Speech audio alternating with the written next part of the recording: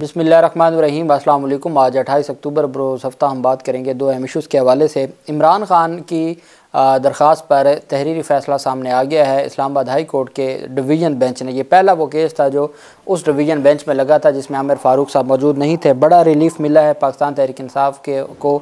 और इमरान ख़ान की जानब से एक लिस्ट दी गई है जेल सुप्रिटेंडेंट को। पंद्रह वकला के नाम थे जो भेजे गए थे पाकिस्तान तहरीक इंसाफ की जानब से कि ये वकला इमरान खान से मुलाकात करेंगे।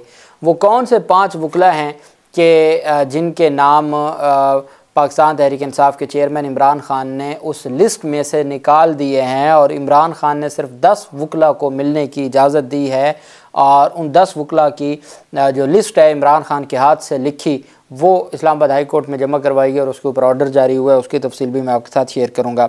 सबसे पहले तो मैं आपको बताता चलूँ कि इंसदाद दहशत गर्दी अदालत लाहौर में जना हाउस जो कोर कमांडर हाउस हमला केस है, जलाओ घराव का मुकदमा, उसमें सबक गवर्नर पंजाब उमर सरफराज चीमा समेत एक सौ तिरपन पाकिस्तान तहरीक इंसाफ के कारकुनान को, जो दहशत गर्दी के मुकदमात के मुलजमान हैं, उनके ख़िलाफ़ केस की समात हुई। जुडिशल रिमांड मुकम्मल होने पर तमाम मुलजमान को अदालत पेश किया गया था। एजाज चौधरी को तबीयत नासाजी के बायस आज पेश ना किया जा सका। एजाज चौधरी की जेल में तबीयत ठीक नहीं है, वो तंदरुस्त नहीं थे, इस वजह से उनको आज अदालत में पेश ना किया गया। अदालत ने मुलजमान के जुडिशल रिमांड में ग्यारह नवंबर तक तोसी कर दी। पुलिस ने मुलजमान के जुडिशल रिमांड में तोसी की इस्तः की थी। अब ग्यारह नवंबर तक थाना सर्वर रोड है लाहौर का कोर कमांडर हाउस हमला केस में एक सौ तिरपन पाकिस्तान तहरीक इंसाफ के कारकुनान का 11 नवंबर तक जुडिशल रिमांड में तोसी कर दी है। अब देखना यह है कि चालान जमा हो चुका है। चालान जमा होने के बाद नोटिफिकेशन जारी हो चुका है कि जेल ट्रायल ही किया जाएगा। अब सबसे बड़ा मसला इमरान ख़ान है। ना तो इमरान ख़ान को वो अडयाला से मुंतकिल कर सकते हैं। यहाँ लाहौर में वीडियो लिंक की इजाज़त कैसे होगी? वीडियो लिंक की इजाज़त हो जाए तो इमरान खान को मुस्तबिल में भी फ़ायदा होगा। वो जब ज़मानतों पर रिहा हो जाएँगे तो वो वीडियो लिंक के ज़रिए ट्रायल में पेश हो सकते हैं तो वो भी रिस्क नहीं ले रही। निगरान पंजाब हुकूमत और परेशान भी है। और पहले लाहौर की पॉलिस इमरान खान को शामिल तफ्तीश कर चुकी है जबकि अब तीन अजला की आ, जो टीम थी वो गई थी इमरान खान को शामिल तफ्तीश करने के लिए। इमरान खान ने शामिल तफ्तीश होने से इनकार कर दिया और वो तीनों अजला की पॉलिस खाली हाथ वापस लौट आई। गुजरा वाला पॉलिस को इंसदाद दहशत गर्दी अदालत के और खसूसी अदालत के जो जज हैं अबुल असनाद जुलकरनैन उन्होंने तफ्तीश की इजाज़त ना दी। तो ये सारा सिलसिला है। अब चूँकि वो उनको पता है कि अल्टीमेटली इमरान खान की ज़मानत सुप्रीम कोर्ट ऑफ़ पाकिस्तान में अगले हफ़्ते दायर हो जाएगी और सुप्रीम कोर्ट से, से ये ज़मानत हर सूरत हो जानी है। और अब इसको कितना अरसा लटकाया जा सकता है इसको लटकाया नहीं जा सकता। और जो आमिर फ़ारूक साहब का फ़ैसला है, चूँकि उन्होंने मेरिट के ऊपर मेरिट को टच किया है मेरिट पर फैसला दे दिया है और जो कि ज़मानत में सुप्रीम कोर्ट की जजमेंट्स इसके ऊपर बेशुमार जजमेंट्स हैं कि आप ज़मानत के फ़ैसले पर मेरिट को नहीं टच करेंगे। जो एविडेंस और शहादत को नहीं टच करेंगे, लेकिन यहाँ तो एक सौ इकसठ के बयान तक का तस्करा है। और अब अगर असद मजीद तो कोई अथॉरिटी नहीं है कि वो कहे जी कि नहीं, कोई गैर मुल्की साजिश नहीं हुई, वो कौन होता है? वो तो सिर्फ़ एक मैसेंजर है। उसने पैगाम भिजवा दिया। तो ये फ़ैसला उस वक्त के वज़ी अजम ने करना था या उसके मुलाजिम ने करना था कि ये मुदाखलत है या साजिश है? तो उसका हवाला देना कि जी असद मजीद ने भी अपने बयान में कहा, एक सौ इकसठ के बयान में, कि कोई साजिश, बैरूनी साजिश नहीं थी। और फिर अहम बात ये कि आज़म ख़ान वादा माफ़ गवाह नहीं बने। आज़म ख़ान एक सौ इकसठ के स्टेटमेंट उनकी है, बतौर गवाह कि जी हाँ जी, वो मेरे पास आया था और उसकी जो तफसीलात हैं। लेकिन जो अप्रूवर बनाना चाहते थे वादा माफ़ गवाह बनाना चाहते थे और एक सौ चौंसठ के बयान की जो बात हो रही थी कि मजिस्ट्रेट के सामने दिया गया है वो आज तक सामने नहीं लाया गया। चूँकि एक सौ चौंसठ का बयान होता है कन्फेशनल स्टेटमेंट वो होती है मुलजिम की कि वो मुलजिम बताता है कि ये जो एफ़ आई आर हुई है इसमें आ, असल में हुआ क्या था।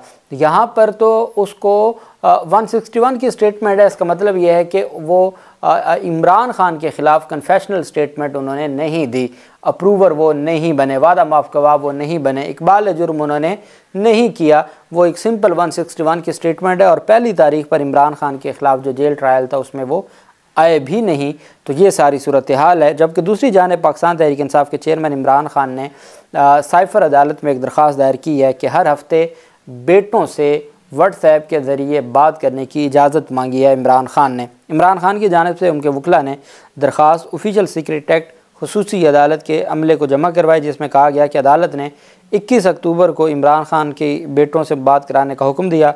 सुप्रिटेंडेंट अडयाला जेल ने इमरान खान की बेटों से बात करवाई, जबकि गुजशत हफ़्ते की तरह आज इमरान खान की बेटों से बात नहीं कराई जा रही। दरख्वास्त में कहा गया कि इमरान खान का अपने बेटों कासिम खान और सुलेमान खान से बात करना आइनी हक है। लिहाजा हर हफ़्ता, हर हफ़्ते के रोज़ चेयरमैन पीटीआई की बेटों से मुलाकात का हुक्म दिया जाए। इमरान खान के वकील ने दरख्वास्त अदालती अमले को जमा करवा दी। आज जब जज अबुल असनाजुलकनैन साहब छुट्टी पर थे और उनके ना होने की वजह से आज समात ना हो सकी और अब ये सोमवार वाले रोज़ इसके ऊपर समात होगी। बहरहाल पाकिस्तान तहरीक इंसाफ के चेयरमैन इमरान खान ने इसमें कहा है कि जहाँ एक बार मुझे इजाज़त मिली है, आधा घंटा इमरान खान ने अपने बेटों से व्हाट्सएप पे बात की थी तो अब गुजारिश की गई है कि इमरान खान की अपने बेटों के साथ हर हफ़्ते में एक दफ़ा गुफ्तु करवाई जाए। और आपको याद होगा कि ये जेल मैनुअल में जो फैमिली के साथ टेलीफोनिक गुफ्तु है वो आ, उसका हक मौजूद है। आम लोगों को नहीं मिलता। सबक वज़ी अजम है और सबक वज़ी अजम को भी जो बी कैटेगरी मिलनी चाहिए थी वो नहीं मिली।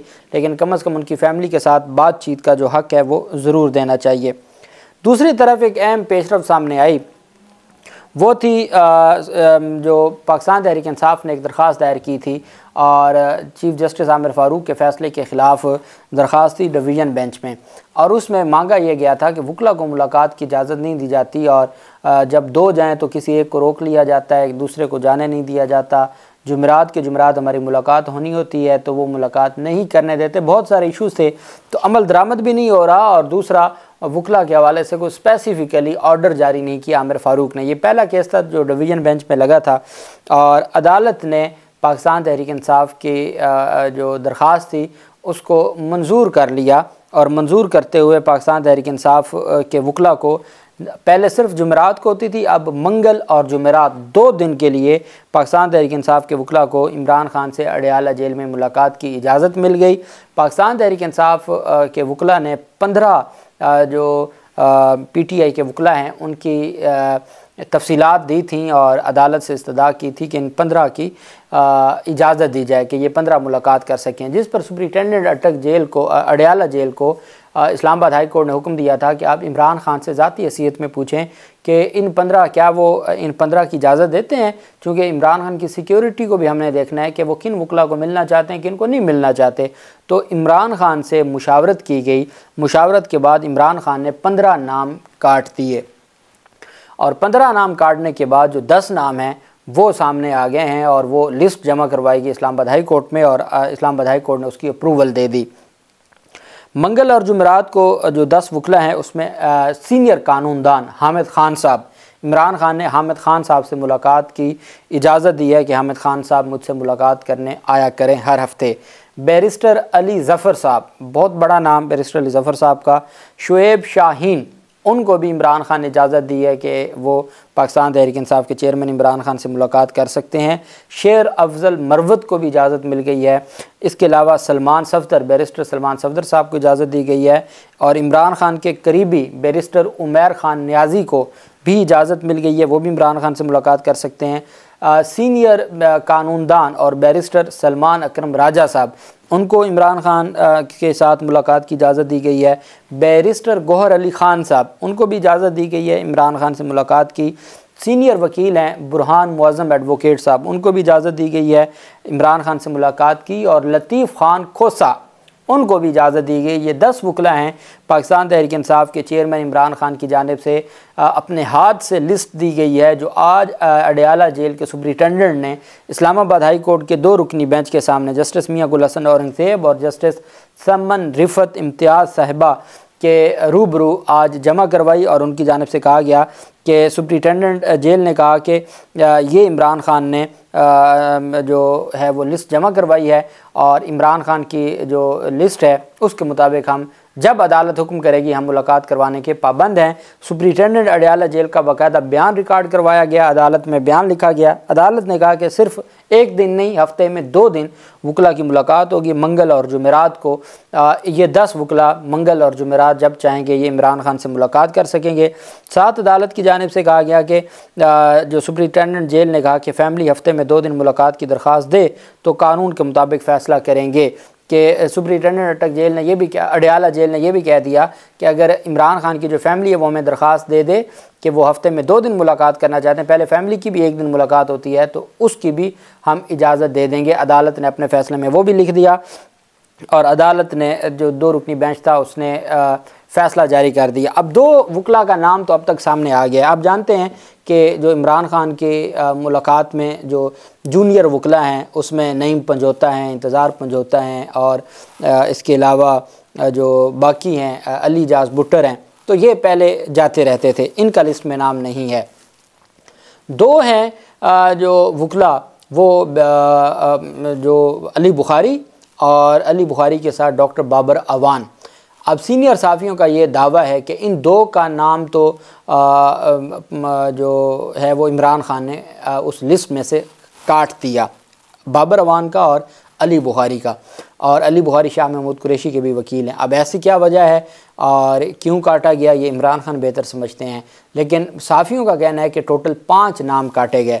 और उसमें अगर तो चूँकि जो मुलाकात करने वाले लोग थे, उनके मैंने आपको नाम बता दिए। लेकिन अब ये कन्फर्म नहीं है कि क्या ये बकिया तीन ये लोग थे या कोई और था, लेकिन बहरहाल उन दस वकला की लिस्ट में इन इन पाँचों का नाम नहीं है। जिसके बारे में मीडिया क्लेम कर रहा है या दावा कर रहा है। और जिन दस वकला की अब पाकिस्तान तहरीक इंसाफ के चेयरमैन इमरान खान की डिवीज़न बेंच ने दरख्वास्त मंजूर की, वकला से मुलाकात की और फैमिली से मुलाकात की। तो और फैमिली को भी हफ़्ते में दो दिन की इजाज़त होगी और वकला को भी हफ़्ते में दो दिन की इजाज़त होगी इमरान खान से मुलाकात की। और दिन तब्दील हैं। जिन दिन वकला की मुलाकात होगी, उस दिन फैमिली की नहीं होगी। जिस दिन फैमिली की मुलाकात होगी, उस दिन वकला की नहीं होगी। और दस वकला को मंगल और जुमेरात के रोज़ इमरान खान से मुलाकात की इजाज़त दे दी गई है। अल्लाह पाक पाकिस्तान का हामी नासर हो। बहुत शुक्रिया। अल्लाह हाफिज़, पाकिस्तान, जिंदाबाद।